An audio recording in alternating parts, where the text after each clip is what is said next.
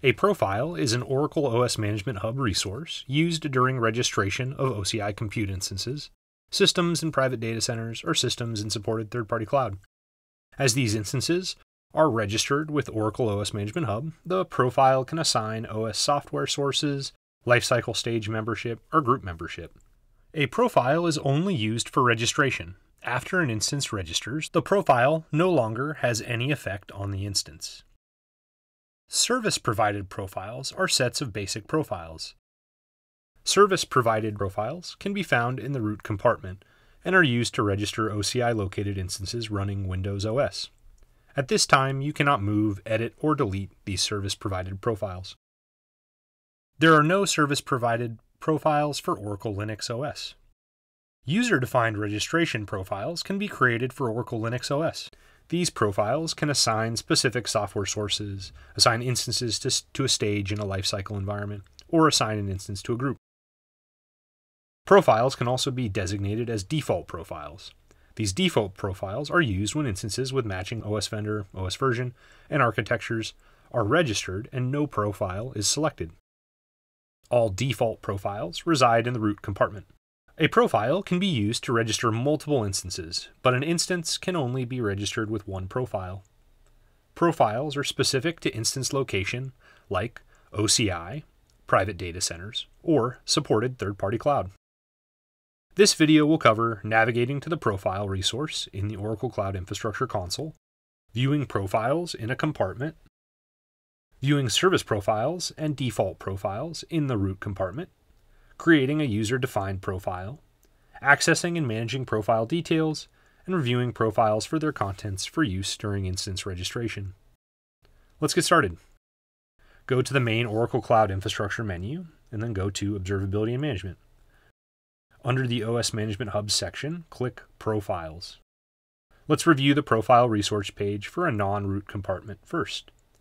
On the screen, we can manage all profiles in the selected compartment we can create, delete, select, and search for different profiles. Profiles are all listed with their name, description, profile type, OS version, and architecture. We can also change compartments using the list scope selector. Next, let's view the root compartment profiles. Let's use the list scope to switch to the root compartment. The root compartment is where all service and default profiles reside. There is an additional column that distinguishes default profiles from non default profiles, we can also modify which profiles are used as default by finding the profile and clicking on the action menu on the right, and then clicking Set as Default Profile. Now let's create a profile. Click Create to open the Create Profile panel. In the panel, enter name, enter description, select location, OCI for compute instances, or private data center and supported third party cloud for non OCI located systems. If you select private data centers and supported third party cloud, then select the compartment where the management station resides, and then select the management station that will communicate with OS Management Hub and the instances assigned to the profile. Next, select the software source type for the profile. Select OS vendor, select OS version, and select architecture. If you are creating this profile in the root compartment, then the Set as Default Profile option appears. By selecting Set as Default, any instance that matches OS vendor, version, and architecture and does not specify another profile when registering will use this profile. For software source profiles, ensure you have added vendor software sources and make sure that you have the correct compartment selected as software sources are compartment specific resources. If you select a compartment that has no software sources in it, then the table will display with no options. The OS vendor, version, and architecture selections act as a search criteria. The software source table now displays options that meet that criteria. Use the search feature if your software source selection returns multiple pages. Select the software sources that you want this profile to assign to instances at the time of registration. A group is a collection of instances that is managed and updated together. A group profile assigns an instance to a group at the time of registration.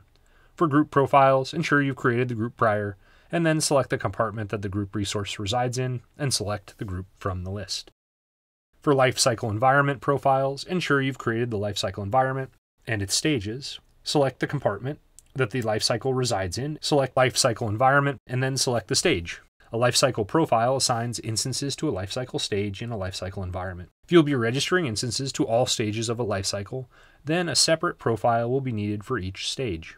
Now let's review a profile's details. Select a profile on the Profiles Details page.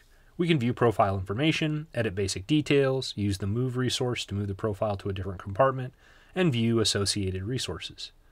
During registration of systems that are located in private data centers and supported third party cloud, a profile's contents are copied into the OSMH profile file on the system being registered as an instance with OS Management Hub.